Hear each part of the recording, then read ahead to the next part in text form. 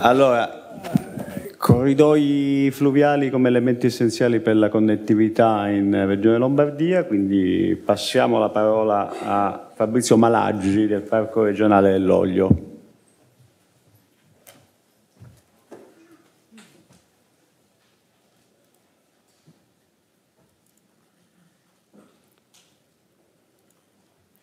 Buongiorno a tutti.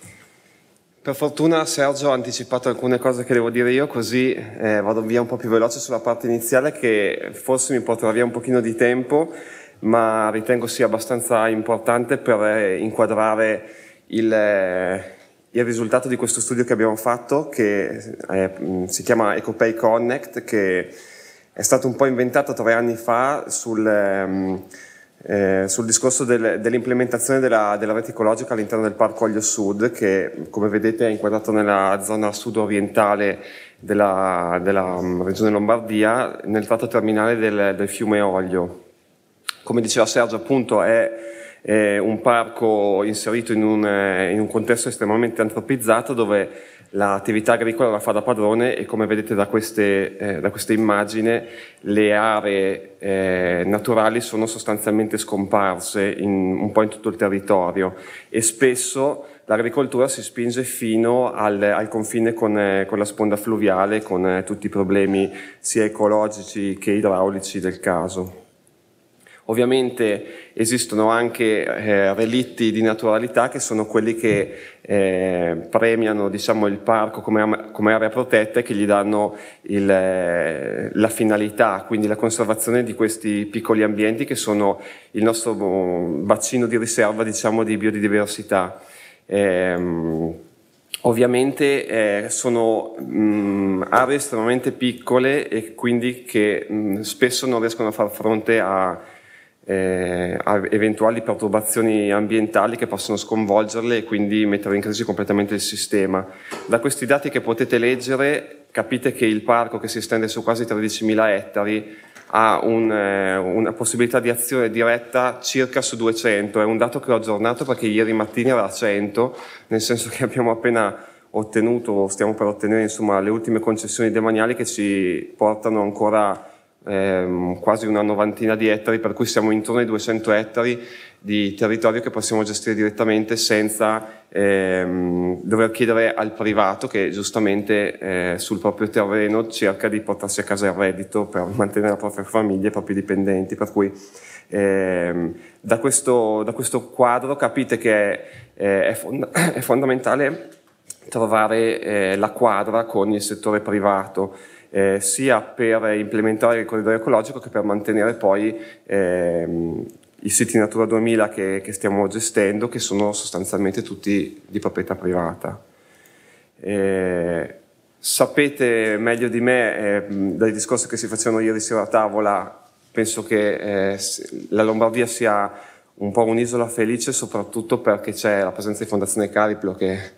foraggia, per così dire, la realizzazione di questi interventi e quindi dà una grossa mano a, a che si possano realizzare interventi di riqualificazione fluviale. Tutto, tuttavia, a livello proprio di, di, ente regionale, i fondi negli ultimi dieci anni sono, sono calati drasticamente. Per la verità quest'anno c'è un piccolo incremento, quindi speriamo che il peggio sia passato, ma trovare risorse per far fronte alle necessità di riqualificazione e di mantenimento, non solo di riqualificazione degli ambienti, è davvero difficile. Per cui ci siamo un, po' inventati questo, eh, questo metodo eh, partendo dal concetto che prima di tutto è necessario avere una progettualità eh, di ampio respiro e di lungo periodo, in modo che man mano che escono i bandi, per quanto piccoli o settoriali, possano essere sfruttati per eh, risolvere alcune criticità. Quindi vedete in questa slide eh, il percorso logico del progetto che adesso eh, faccio scorrere velocemente, eh, come dicono sempre i formatori, per creare aspettativa e interesse più che per spiegarvi, perché capisco che nel tempo che ho a disposizione non posso farlo, ma mi serve anche per giustificare poi le scelte che vedrete alla fine della presentazione. Quindi sostanzialmente il percorso è questo, individuazione dei problemi e eh, progettazione delle soluzioni idonee a far fronte a questi problemi, mappatura e valutazione economica dei servizi ecosistemici, perché l'idea era quella di sfruttarli come leva eh, sul, sul, decisore politico per far capire l'importanza della conservazione della natura, ehm, analisi delle parti interessate, i cosiddetti stakeholder, non so come siete più abituati a sentire questa parola, eh, quindi eh, abbiamo preso in considerazione il mondo agricolo che sono sostanzialmente i proprietari del parco perché di fatto tutto il parco è, è privato e, e, dei settori economici che ritenevamo strategici in base a una serie di valutazioni che abbiamo fatto per poi arrivare a una progettazione negoziata di l'aspirazione era abbastanza alta eh, pagamenti per servizi ecosistemici o ambientali. Quindi abbiamo fatto un'analisi dei problemi, li abbiamo classificati, dato un ordine di priorità, abbiamo progettato le soluzioni che in estrema sintesi si possono concretizzare con questi eh, diciamo, due macro ehm, eh, insiemi, uno da realizzarsi sul, sul privato, quindi ehm, riqualificazione della fascia fluviale, eh, quella prevista dall'articolo 29 del PAI, quindi 10 metri di rispetto del fiume, che sarebbero obbligatori ma che è completamente disatteso. Eh, la più sostenibile, quindi con una collaborazione con FSC Italia che, eh, che poi vi spiegherò meglio, e, e l'implementazione di siepi e filari che sono eh, sempre più rare nella, nella, campagna e che servono eh, per mille scopi, come potete ben immaginare dal punto di vista ecologico. Eh, e poi interventi invece diretti nelle aree eh, che il parco può utilizzare su, con la riqualificazione di aree umide eh, oppure riqualificazione delle aree demaniali del demanio fluviale.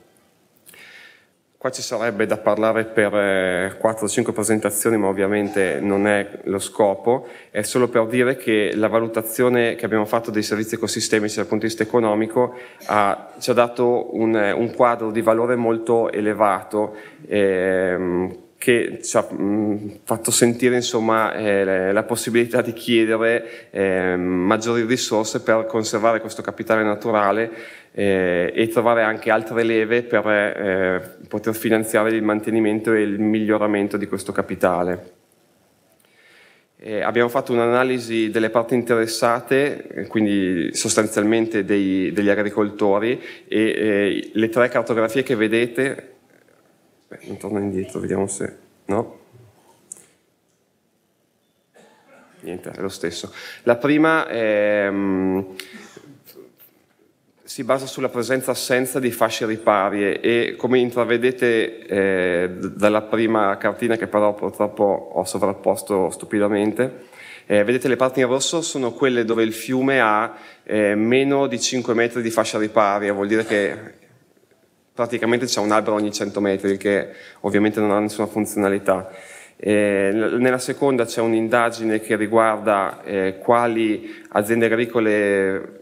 su, con seminativi superiori a 15 ettari, quindi soggetti a greening, potessero essere prese in considerazione per eh, indirizzarle verso eh, l'implementazione di siepi e filari in, in, modo che possano rispondere a questo requisito e l'ultima invece è, una, è un raffronto tra le eh, siepi esistenti nel 54 se non sbaglio e quelle attuali. Ovviamente nel, il 54 vedeva un assetto territoriale completamente diverso, quindi tendenzialmente non si, non si potrà eh, arrivare a quella quantità, però diciamo che è un, un, un punto di raffronto per poter capire eh, come potrebbe essere un assetto territoriale. Sono stati incontrati eh, gli imprenditori agricoli e le associazioni, grazie anche alle associazioni di categorie che sono state fondamentali per poter ehm, fare un dialogo facile con gli agricoltori perché vedono sempre il parco come un ostacolo attraverso ehm, diverse attività anche molto interattive per facilitare la partecipazione. La stessa cosa è stata fatta con i settori economici, quindi l'imprenditoria locale. Tutto questo ha portato a creare un, una sorta di schema che è quello che avevamo un po' previsto, cioè ehm, mettere insieme cittadini, imprenditori e altri enti eh, che potessero dare un contributo volontario per motivi che adesso non sto a spiegare, eh, che possono essere dal, dalla volontà di conservazione eh, come, come, questione etica a invece interessi economici, farli confluire in un fondo da sfruttare per eh, la, la realizzazione delle opere di riqualificazione ambientale oppure anche attraverso dei bandi simili PSR in Regione Lombardia abbiamo il progetto speciale agricoltura che per farla breve è un piccolo PSR per le aree parco, anche se ormai eh, non è finanziato da qualche anno. Noi come Parco Aglio Sul l'abbiamo finanziato per qualche anno in più con l'avanzo di amministrazione, ma poi, ma poi eh, insomma, eh, si sono esauriti i fondi, in modo da poter intervenire sia sul pubblico che sul privato. Questo eh, permette l'implementazione dei servizi ecosistemici che ritornano a tutti quelli che hanno finanziato creando un circolo virtuoso di economia circolare. Questo lo salto, eventualmente lo tengo per le domande, così che immagino ci sarà qualche, qualche cosa, in genere almeno. Eh, quindi eh, le informazioni che abbiamo raccolto ci parlano di eh, 1700 eh, ettari di coltivazione di pioppo all'interno del parco, presenza di aziende di trasformazione del pioppo certificato FSC e mancanza di offerta di pioppo certificato. Queste sono informazioni che nessuno aveva eh, colto, ma che attraverso il confronto con i settori economici abbiamo potuto individuare. Eh, la mancanza di relazioni tra i apicoltori è stato un, un problema che abbiamo riscontrato e una opportunità che abbiamo colto è che dal 2018 lo standard di certificazione FSC prevede che il 10% della superficie produttiva debba essere eh, destinata a, a, area rappresentativa, quindi ambiente naturale di fatto. Solo che se il privato eh, fa, lascia il 10% della sua superficie a, eh, trasformandola da produttiva a improduttiva sostanzialmente, ma ambiente naturale, ha un costo altissimo di mancato reddito eh, e di perdita eh, di, di superficie appunto. Eh, la collaborazione del parco consiste nel fare un, eh, un contratto con questo più apicoltore e dandogli in gestione un'area eh, naturale o da rinaturalizzare. Eh, questo abbatte i costi del, dell'imprenditore perché può fare direttamente questo lavoro e non rinunciare al suo reddito e il parco eh, scarica parte dei suoi costi di gestione sul privato eh, in un rapporto in cui entrambi vincono. Per di più anche l'economia locale ne risente in maniera positiva perché alcune aziende eh, come Panguanetta e Invernizzi, che sono stati anche sostenitori e finanziatori di questo progetto, trovano materiale certificato eh, in loco senza doverlo andare a prendere in, in, Spa, in Francia. Chiudo, tanto vi ho già detto tutte le conclusioni, ve le ho dette sostanzialmente adesso, il progetto continua eh, con un altro investimento fatto dalla Fondazione Cariplo un, su un territorio più vasto e speriamo di poter esportare l'esperienza. Grazie.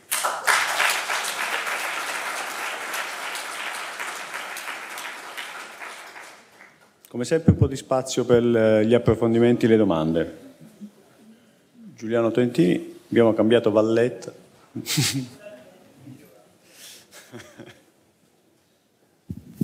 eh, una domanda che Fabrizio sa già, ehm, nel senso sa già che te la faccio. Eh.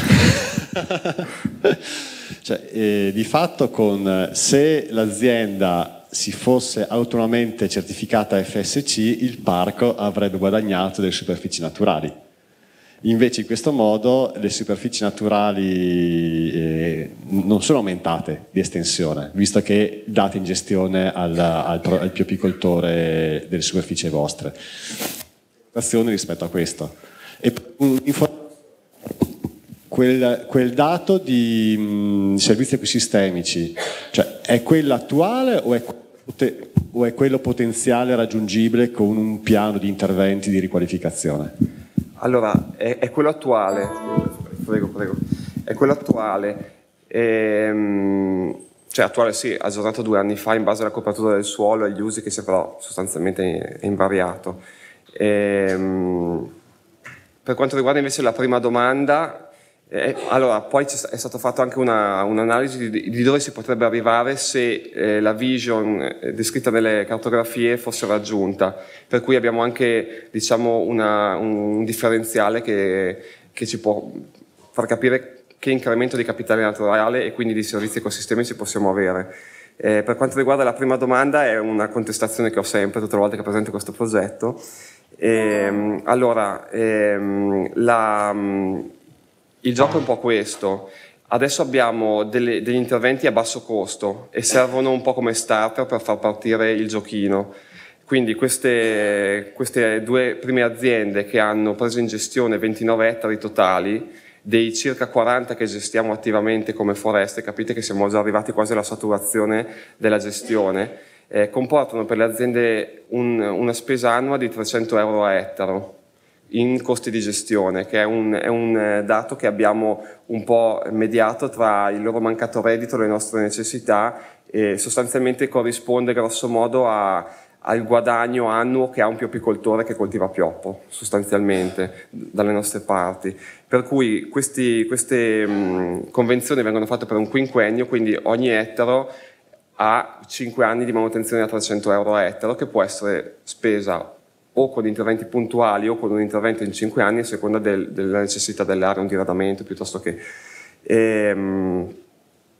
l'idea è quella che i prossimi che, che, chiedono non avranno più il bosco da riqualificare ma il bosco da piantare, il che il costo è più alto, però se vogliono mantenere la certificazione questo è il, il passaggio, fin tanto che arriviamo al livello in cui eh, le, i loro costi sono più alti, ma non lo sarà mai perché di fatto il terreno glielo diamo, eh, per cui aumenterà di fatto la loro spesa e ehm, in questo modo noi possiamo i soldi che spendiamo per le manutenzioni ordinarie possono, cioè per queste cose straordinarie possono essere utilizzate per l'ordinario, quindi raggiungiamo altri scopi. In più possiamo acquistare nuove aree in un secondo momento, quindi bisogna vederlo in un'ottica di lungo periodo e adesso siamo solo all'inizio, mi viene da dire. Comunque, e chiudo, vedete qua questo link da dove potete scaricare tutte le analisi che sono state fatte sui servizi ecosistemici, sulle questioni economiche e anche sul tipo di contratto che facciamo, per cui chi volesse approfondire questi aspetti può trovare tutto lì oppure mi può contattare. Insomma. C'era un'altra domanda rapidissima.